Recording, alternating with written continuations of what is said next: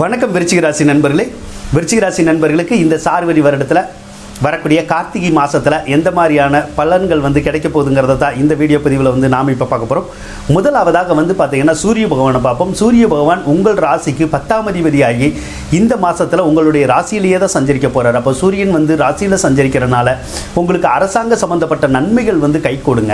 சிலருக்கு வந்து பார்த்தீங்கன்னா அரசாங்க சம்மந்தப்பட்ட காரியங்களை வந்து செய்யணும் அப்படின்னு தோணும். அதாவது ஒரு சர்டிஃபிகேட் வாங்குறதோ அல்லது டாக்குமெண்ட் மாதிரியான ஏதாவது ஒரு விஷயங்களை வந்து அரசாங்கத்தின் மூலமாக பெறதோ அல்லது வேறு ஏதாவது ஒரு சில காரியங்களுக்காக அரசாங்க அலுவலர்களை சந்திக்கணும் அந்த காரியங்களை வந்து நம்ம செய்யணும் அப்படிங்கிற மாதிரியான எண்ணங்கள் வரும். அந்த காரியங்களை நீங்கள் செஞ்சீங்கன்னா அந்த காரியங்கள் வந்து உங்களுக்கு கைக்கொடி வருங்க. ஒரு சில விருச்சிக ராசிக்காரவங்களுக்கு அரசாங்க அலுவலர்களும் சரி அரசியல்வாதிகளும் சரி ஒத்துழைப்பு தர்றதுக்கான வாய்ப்புகள் அதிகமாக வரும். சில விருச்சிக ராசிக்காரவங்களுக்கு வந்து பார்த்தீங்கன்னா அரசாங்கத்தில் வந்து வேலை வாங்கணும் அல்லது அரசியலில் வந்து நம்ம வந்து ஈடுபடணும் அப்படிங்கிற மாதிரியான எண்ணங்கள் கூட இந்த மாதத்தில் வர்றதுக்கான ஒரு சந்தர்ப்பம் வந்து நிறையவே இருக்குங்க. அந்த எண்ணங்கள் வந்தாலும் அந்த எண்ணங்கள் படி நீங்கள் அந்த விஷயத்தை செஞ்சீங்கன்னா உங்களுக்கு காரியம் வந்து கைகூடி வருங்க. அதாவது அரசாங்க அரசியல் காரியங்கள் வந்து கைகூடி வரும். அடுத்து சூரியன் வந்து ராசி மேலேயே இருக்கிறதுனால ஒரு சில விருச்சிக ராசிக்காரவங்களுக்கு மட்டும் வந்து பார்த்தீங்கன்னா உடல் உஷ்ணம் சம்பந்தமான ஏதாவது தொந்தரவு வந்து வருங்க. அதாவது இந்த தலைவலி வைத்த வலி அப்படி சொல்கிறோம் இல்லையா? அந்த மாதிரி இந்த கண் வலி அப்படின்லாம் சொல்லுவோம். அந்த மாதிரியான ஏதாவது ஒரு உடல் உபாதை வந்து நீங்கிறதுக்கான வாய்ப்பு இந்த மாதத்தில் வந்து உங்களுக்கு இருக்க தாங்க செய்யுது. பத்தாம் அதிபதி பலம் பெற்று இருக்கிறதுனால வேலையில் வந்து முன்னேற்றம் ஏற்படுறதுக்கான வாய்ப்புகள் இருக்கும். அதே மாதிரி தொழிலையும் சிறப்பான பலன்கள் ஏற்படுறதுக்கான ஒரு சந்தர்ப்பமும் இந்த மாதத்தில் வந்து உங்களுக்கு இருக்க தாங்க செய்யுது. மாதத்தினுடைய ஆரம்பத்தில் வந்து பார்த்தீங்கன்னா புதன் பகவான் பன்னிரெண்டாவது ராசியில் தான் இருப்பார். புதன் பன்னிரெண்டாவது ராசியில் இருக்கனால சிலருக்கு கல்வி வழியில் செலவாகணும் மாமன் மைத்தொண்டர்கள் வழியில் செலவாகணும் அல்லது இந்த கணக்கு பதிவேடுகள் மூலமாக நமக்கு செலவாகணும் பிரிண்டிங் ப்ரெஸ் மூலமாக செலவாகணும் அப்படிங்கலாம் இருக்கும். அந்த புதன் வந்து பார்த்திங்கன்னா கார்த்திகை பத்தாம் தேதி துலாம் ராசியிலேருந்து விருச்சிக ராசிக்கு வந்து பயிற்சி ஆயிடுவாருங்க அப்போ துலாத்திலேருந்து விருச்சிக ராசிக்கு அந்த புதன் வந்து பயிற்சி ஆகிறனால வந்து பார்த்தீங்கன்னா சில விருச்சிக ராசிக்காரவங்களுக்கு வந்து பயண அலைச்சல்கள் வந்து நிறையா இருக்குங்க. ஏதாவது ஒரு காரியத்துக்காக அடிக்கடி நம்ம போயிட்டு வர மாதிரியான ஒரு சூழ்நிலைகள் வருங்க. அதாவது சிலர் வந்து விருந்து விசேஷங்கள் அப்படின்னு சொல்லுவோம் இல்லையா? அந்த மாதிரி விருந்து விசேஷங்கள் திருமண காரியங்கள் மற்றும் பிற காரியங்களுக்காக அடிக்கடி பயணங்கள் மேற்கொள்றதுக்கான வாய்ப்புகள் வரும். இதன் மூலமாக வந்து பார்த்தீங்கன்னா நம்மளுடைய வேலை தொழிலை வந்து கொஞ்சம் சரியாக கவனிக்க முடியாமல் கூட போகலாம். அந்த மாதிரியான ஒரு சூழ்நிலை வந்து வந்து இருக்கதாங்க செய்யுது.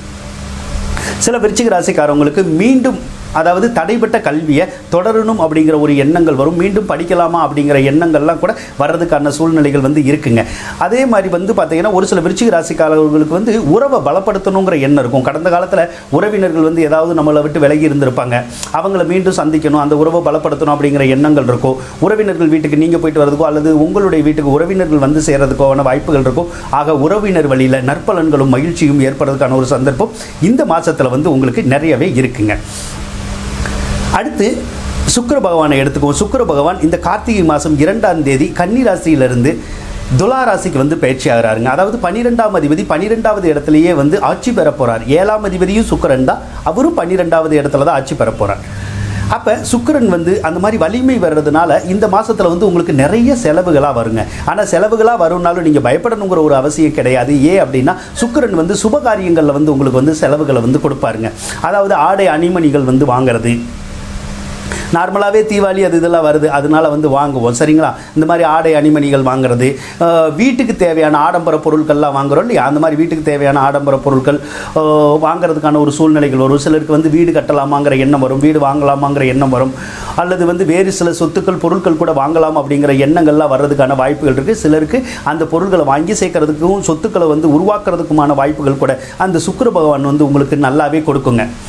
அதே மாதிரி சேர்த்து வைத்த பணம் வந்து ஏதாவது ஒரு வழியில் வந்து இந்த மாதத்தில் வந்து நமக்கு செலவழிக்கிறதுக்கான வா வாய்ப்புகள் வந்து நிறையா இருக்குது இந்த மாதத்தில் வந்து நமக்கு சேமிப்புகள் வந்து கூடுறதுக்கான வாய்ப்புகள் வந்து இல்லைங்க.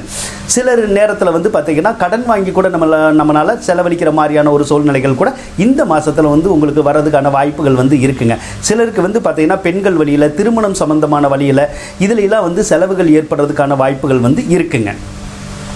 ஒரு சிலருக்கு அந்த கணவன் மூலமோ அல்லது மனைவி மூலமோ நண்பர்கள் மூலமோ கூட செலவுகள் வந்து வருங்க. அடுத்து வந்து பார்த்தீங்கன்னா இப்போ ஏழாம் அதிபதி பலம் பெற்றிருக்கனால சில விருச்சிக ராசிக்காரவங்களுக்கு வந்து பார்த்தீங்கன்னா இது வரைக்கும் திருமண முயற்சி எடுத்து திருமணம் ஆகாமல் இருந்திருந்தால் இந்த காலத்தில் நீங்கள் திருமண முயற்சிகள் எடுத்திருந்தீங்கன்னா திருமண பாக்கியம் வந்து கைகூடி வருங்க. இரண்டாவது இடத்துல சனி பகவான் இருக்காரு. அந்த இரண்டாவது இடத்துல சனி இருந்து உங்களுக்கு வருமானத்தை வந்து கொஞ்சம் குறைவாக தான் தந்துக்கிட்டு இருக்காரு. ஏன்னா ஏழரை சனி வந்து இன்னி உங்களுக்கு வந்து முடியல. பாதச்சனி தான் இன்னி ஓடிக்கிட்டு இருக்கு. இந்த பாதச்சனி டிசம்பர் இருபத்தி ஏழாம் தேதி முடியுது. அது முடிவடைஞ்சதுக்கப்புறம் உங்களுக்கு வருமானம் வந்து சரளமாக வருங்க. குடும்பத்தில் இருந்த குறைபாடுகள் எல்லாமே நீங்கும். பண கஷ்டம் மன கஷ்டம் இது எல்லாமே நீங்கும். ஏன்னா ஏழரை சனிக்கு வந்து இன்னி உங்களுக்கு முடியலை. இந்த ஏழரை சனினாலேயே படாத பாடு வந்து ரொம்ப நாளாக வந்து நீங்கள் பட்டுக்கிட்டு தான் இருக்கீங்க. அந்த கஷ்டத்துக்கெல்லாம் ஒரு விடிவு காலம் வந்து பிறக்கத்தாங்க போகுது. அடுத்து இப்போ குரு பகவான் எடுத்துக்கோ. குரு பகவான் மூன்றாவது ராசியில் தாங்க இருக்காரு. குரு பகவான் மூன்றாவது ராசியில் இருக்கிறது உங்களுக்கு நற்பலன்களை கொடுக்கும். அதாவது வந்து பார்த்தீங்கன்னா நீங்கள் ஏற்கனவே கடந்த காலத்தில் ஏதாவது கடன்கள் அந்த மாதிரி வச்சுருந்தீங்கன்னா அந்த கடன்கள்லாம் நிவர்த்தி ஆகிறதுக்கான ஒரு வாய்ப்புகள் வரும். அதே மாதிரி குறுகிய பயணங்கள் அடிக்கடி ஏற்படலாம். குறுகிய தூரத்திலிருந்து உங்களுக்கு நல்ல நல்ல செய்திகள்லாம் கூட வந்து சேரதுக்கான ஒரு வாய்ப்புகள் வந்து உங்களுக்கு அதிகமாகவே வந்து இருக்குங்க. ஆக குரு பயிற்சி வந்து உங்களுக்கு இந்த மாதத்துலேருந்தே சிறப்பாகவே இருக்கும். இப்போ ஐந்தாவது இடத்துல வந்து பார்த்தீங்கன்னா செவ்வாய் பகவான் இருக்காரு. ஐந்தாவது இடத்துல செவ்வாய் பகவான் இருக்கிறது வந்து பார்த்தீங்கன்னா பெற்ற பிள்ளைகளுக்கு வந்து இந்த மாதத்தில் வந்து ஏதாவது ஒரு சில இழப்பீடுகளோ அல்லது ஏதாவது தொந்தரவான ஒரு சில விஷயங்களோ கூட நடக்கலாம். அதனால வந்து பார்த்தீங்கன்னா அவங்க வந்து ஒரு வித கவலையோடையோ அல்லது ஒரு வித கோபதாபத்தோடையே வந்து இந்த மாதத்தில் வந்து இருப்பாங்க. அதனால அவங்க கிட்ட நம்ம பேசுகிற போது பழகிற போது கொஞ்சம் நிதானமாக பேசிக்கிறது வந்து நல்லதுங்க. அவங்களுடைய மனசறிஞ்சு நீங்கள் நடந்துக்கிட்டீங்கன்னா அவங்களுக்கும் உங்களுக்கும் வரக்கூடிய பிரச்சனைகள் கோபதாபங்கள் எல்லாமே வந்து தவிர்க்கப்படலாங்க. back.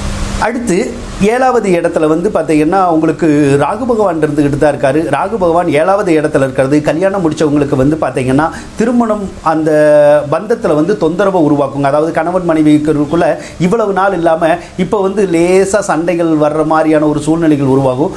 லேசாக கொஞ்சம் கொஞ்சமாக வந்து அந்த கருத்து வேறுபாடுகள்லாம் வர்றது மாதிரியான ஒரு சூழ்நிலைகள் வந்து இப்போ உங்களுக்கு வந்து தெரியுங்க. அதனால் கணவன் மனைவிக்குள்ளே ஒற்றுமை அதிகரிக்கிறதுக்கு முடிஞ்ச அளவுக்கு நீங்கள் நிதானமாகவும் பொறுமையாகவும் நடந்துக்கிட்டீங்கன்னா உங்களுக்கு சிறப்பான பலன்கள் வந்து கிடைக்குங்க.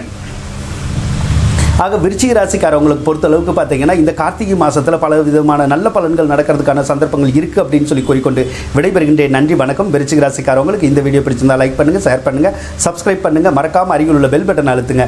அதன் மூலமாக நாங்கள் வெளியிடும் ஜோதிடம் சம்பந்தமான வீடியோக்களுக்கான நோட்டிஃபிகேஷன் உங்களுக்கு உடனுக்குடன் வந்து சேரும். நன்றி விருச்சிக ராசி நண்பர்களே.